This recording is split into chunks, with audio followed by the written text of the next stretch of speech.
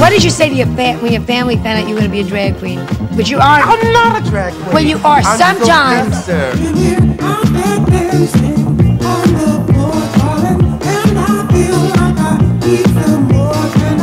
When he put on dresses and drag, real drag, I mean, he looked better than me.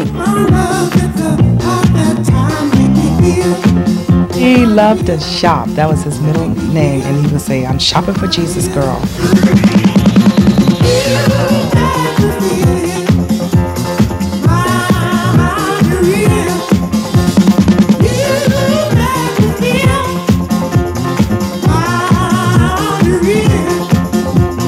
He did it seamlessly. He was never a drag queen. He was um, a great beauty that came out, and I, I'm sure many straight boys liked him too. From that first picture I saw on the wall of him, I thought, wow, okay. Something clicked there and said, well, okay, if he can do it, you can do it. He was wonderful. Sylvester was so wonderful and an incredible singer. I mean, everyone was overawed by his talent. I mean, he had the goods.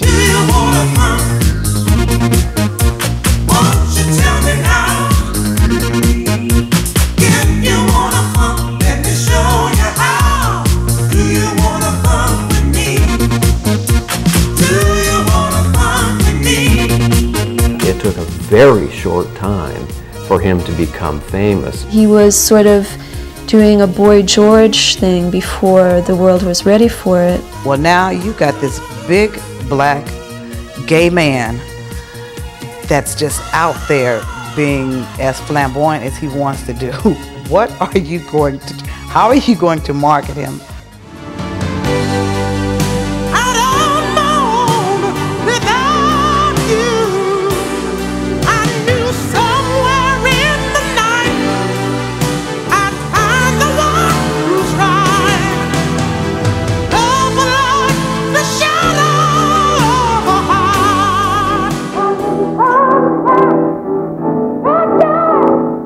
My first impression of Sylvester, I think, was a very correct one. That he was probably the most talented one in the Cockettes at the time. Somebody got the idea Sylvester should do his own show because he's always stopping the show. He wasn't a hippie with a beard and a dress. This was um, Billie Holiday and Diana Ross on LSD.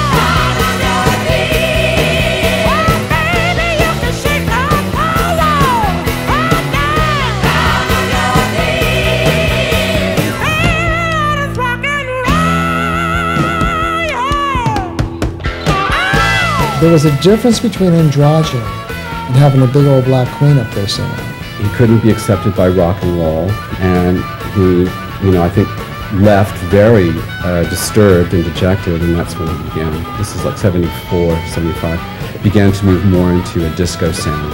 Hi, no telling what you might see in Golden Gate Park, and we're even here. My name is Sylvester, and these are the two tons of fun. And we'd like you to listen to our new release, Can't Stop Dancing.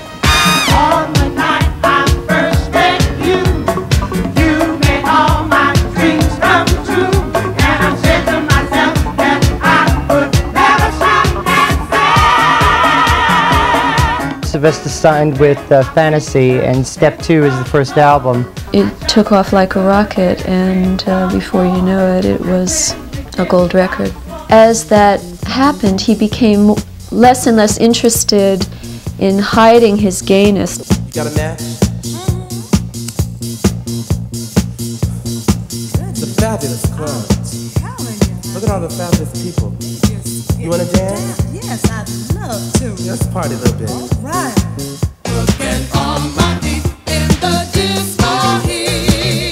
We were pretty quickly in Europe because it was released pretty simultaneously and caught on as almost as quickly as here. You know, it was a great success. I mean, which was surprising almost to all of us that everything was sold out.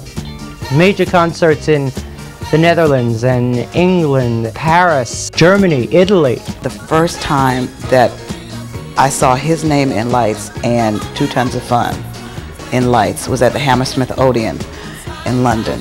When he came back from France, I asked him, how did it go? And he said, well, it was fantastic. I, I got off the plane and there were people waiting for me, waving from behind barricades, saying, Sylvestre, Sylvestre. And he just loved that. You are my friend. I never knew happen. My friend. His culminating, I think, fantasy that he lived out was to play the Opera House in San Francisco.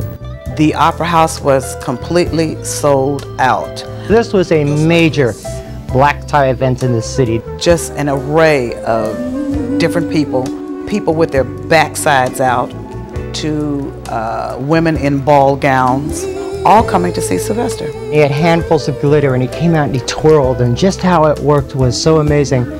And Sylvester remembered every word to every song, which he was not known to do, and went through this show in front of 3,000 people on acid. I mean, could you imagine?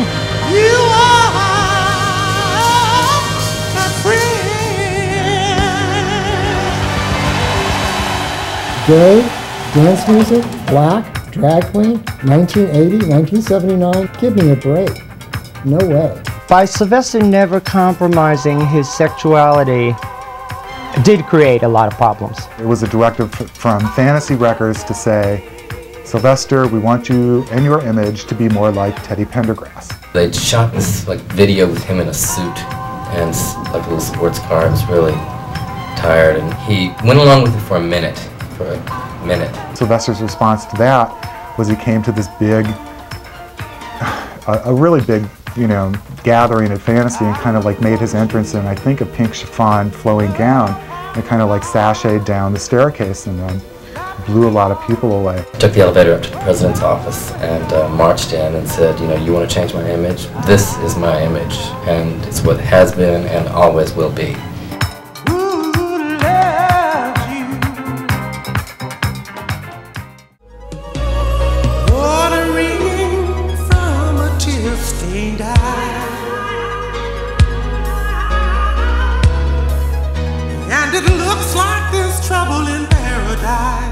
And Sylvester just did not want to go off and check everything.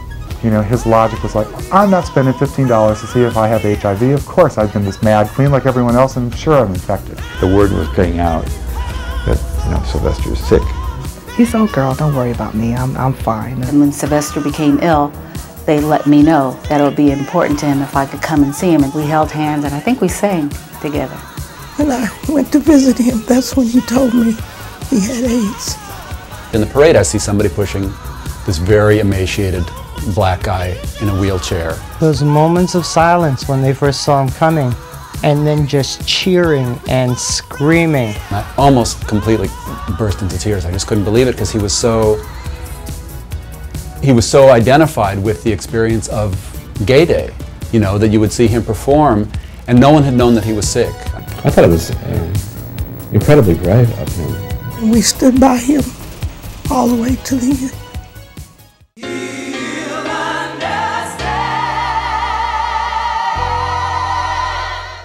If Sylvester was alive today, he could have a great show. He could be at the Carlyle, sitting right by the piano. I don't think Sylvester got the respect that he deserved.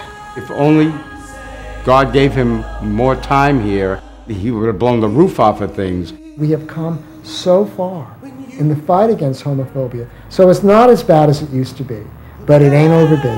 And I wish there were a few more Sylvesters that were bold enough and talented enough to step up to the plate and sing out. If I had one person to know in my life, it would be Sylvester. You know, I haven't buried him. He's not gone.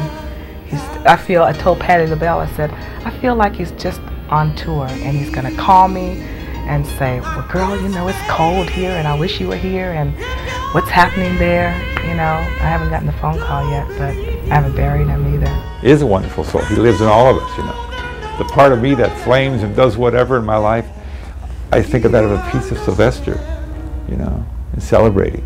I'm sad.